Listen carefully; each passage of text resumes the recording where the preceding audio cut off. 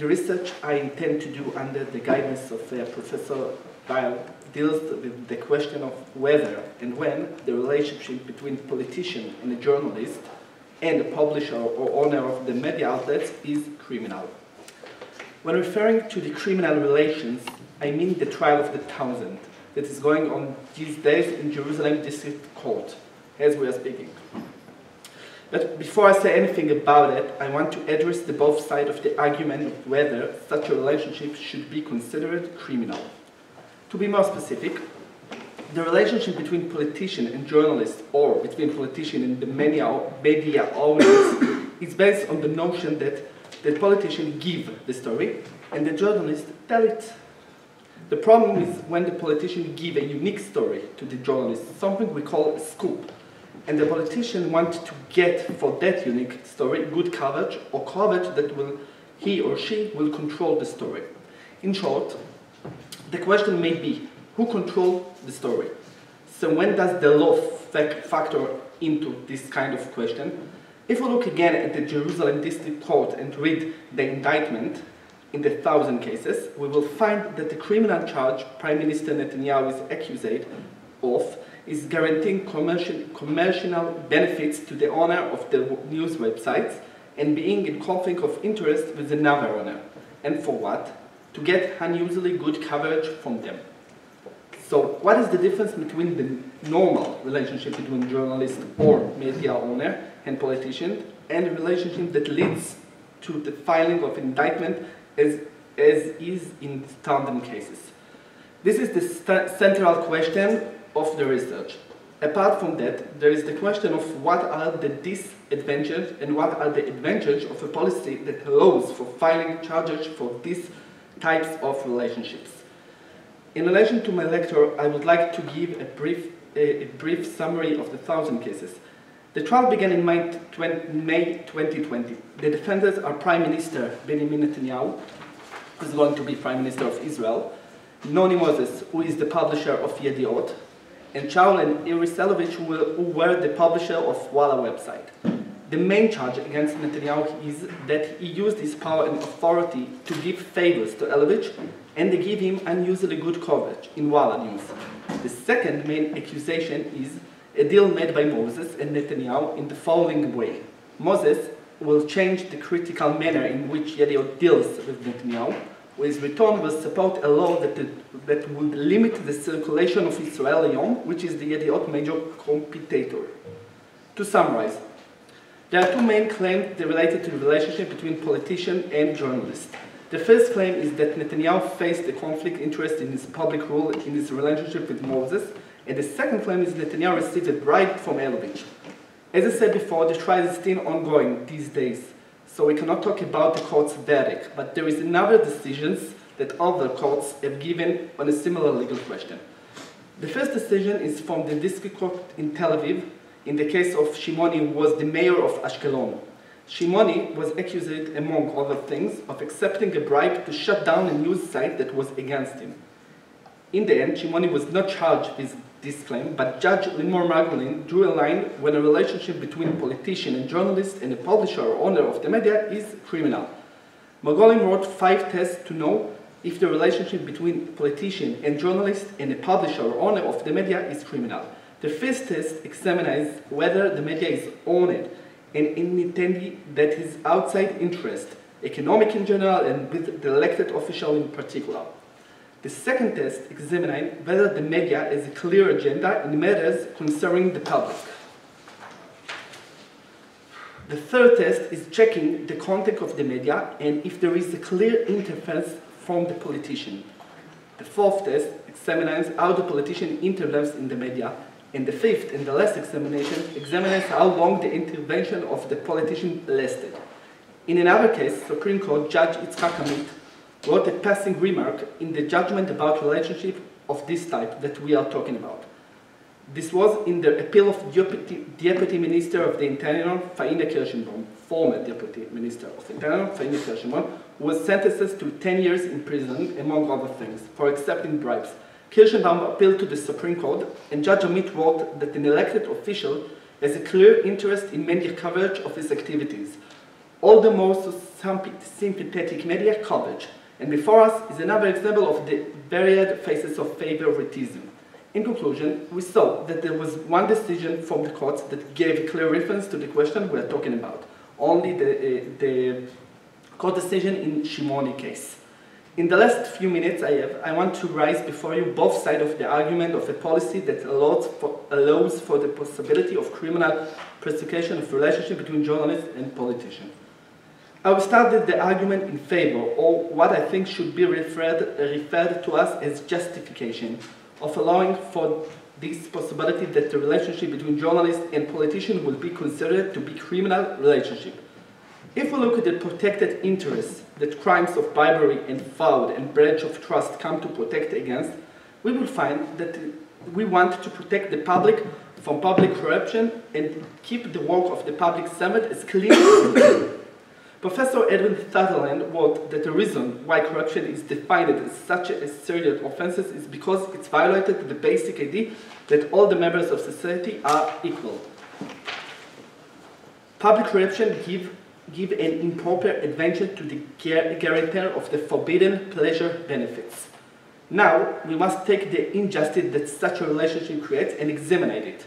Professor Darren wrote that the term political, political corruption is broad enough, and one of them is related to the work of the press. If, for example, the media does not provide the public with a true report on the political reality and instead provides a false report to promote the interests of politicians or businessmen, we can also call it public corruption. Another justification is based on the question of what journalism is and the role it takes on the public debate. One of the main aspects and one of the core values of the press is communicate the real reality to the public and reflect the work of the policy makers. Media researchers think that the media has a strong influence on the political agenda and the way in which the policymakers choose to design policies. Because of this, and because of the unique place that the media occupies in the formation of our public discussion, and more importantly, because of the role of the media in enabling a public discussion, it should, it should, it should do so based on facts and not on assumption. Filing an indictment for a criminal offense against someone who willfully prevent the media from doing its job can be justified down to the protection of democracy.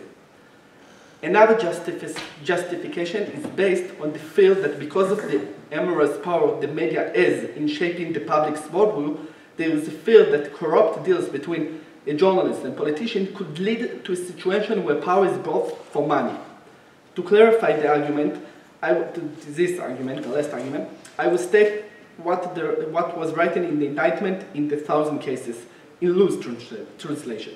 The defendants knew that the media coverage of the two news sites could improve the news coverage of Netanyahu during the, ele the election period in Israel in 2015.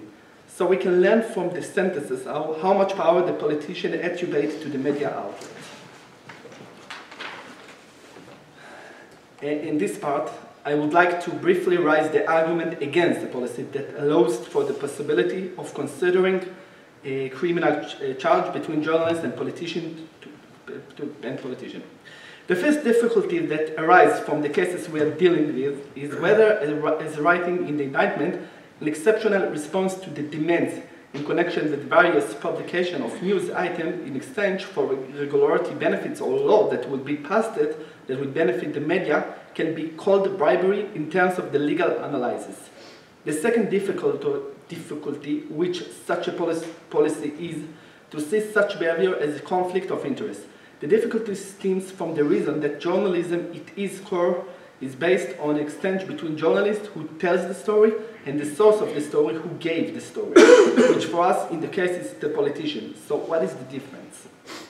The third difficulty is the judge's lack of expertise to rule on such cases and to write a ruling based on the legal definition. The fourth and most difficulty is the danger of the freedom of expression, where be any meeting between a journalist and politi politician may lead to the filing of indictment. This fear may sound like an ex accessories, but I can tell about a conversation that I had with a journalist friend whose story was rejected by the editor-in-chief at his place of work. Where he didn't get a real answer, he dug and learned of the intervention of a politician who prevent the, publica the publication of the story. At that point, he stopped asking questions for the fear of finding himself in the interrog interrogation room. So it has a chilling effect. And yet, after discussing argument in favor and against a legal policy that allows for the possibility of criminal prosecution of the relationship, such we're talking about, there is another aspect that I want to talk. And I'm talking about the alternatives to the criminal procedure, especially when we talk about the media, which was a unique ethics coach was proposed to deal with ethical and moral questions in which journalists are involved. The first alternative is establish, establishing an office of communication, such as we have in the United Kingdom, that will be responsible and provide regulatory oversight of the media. The main idea is that office is free from pressure from the involved, involved government and is built on the professionalism of employee without pressure from politician. In the context of the thousand cases, the charge in the various cases directly relate to the consideration that Elovitch and Moses were supposed to receive from Netanyahu in the form of major approval between Bezeq and Yes, or passing a law that, will prevent the circulation of Israel newspaper, on the assumption that there was an independent media authority that cuts off the possibility of the politician to guarantee a return like what we allegedly promised in the cases, it possible that the charge in the cases would have been avoided. Another alternative is to use the ethics codes of the Council of Journalism and file an indictment against journalists who get involved in ethical issue such a corrupt relationship with a politician. For example, I can quote from the New York Times Code Ethic that wrote something like that. Staff members may see source informally over a meal or drink, but they must keep in mind the difference between legitimate business and personal friendship. A City Hall reporter who enjoyed a weekly round of golf with a city council member, for example, risks creating an appearance of coziness even if they sometimes discuss business on the course. So does a reporter who joins a regular card game or is a familiar face in a co-reputation box sits or spends weekend in the company of people or she already covers social practice requires that predatory to keep back and take a hard look at whether we have drafted too close to cells that we deal with regularity. So we can see that the media owner is aware of the difficulty such a relationship can create. Uh, however, the main problem with the code of ethics and moral obligation is that no one promised to enforce it. The third alternative is, to take, is taken from fiduciary law. Professor Amir Licht wrote in a new article that will be published soon that the states can use legal tools of, legal tools of fiduciary law to fight against corruption. The potential, but the potential application of this tool is based on the notion that the law of fiduciary establishes a duty of loyalty between two parties. Licht is writing that beside the regular trustee that are well known, like trustee, guardian, we can expand it a relationship between someone who has some duty to another person. In our, in our term, from this point, we can at least think of a legal obligation between the owner of the media body and the regulator. Summary. The short lecture I tried to raise main question that I think rises from reading the indictment of the thousand cases. The main question that we should figure out how to answer if a journalist's work can be considered as a criminal benefit. The main difficulty is distinguishing between the journalist agenda of establishing and maintaining a relationship with politicians and potential, potential criminal benefits exchanged in the context of such a relationship. On the other hand, we can't ignore the power and the influence that the media has on the public opinion, especially when it's come to the political, political coverage, such as in the recent election in Israel and even in the midterm election in the United States. To the end, I would like to uh, thank to Professor Wild for inviting me to speak and for all her uh, guidance and assistance, and thank you for listening. I commend you for being under the 20 minute. Okay, so um, we have some time for a discussion, so I invite the speakers uh, who want to uh, raise questions, and maybe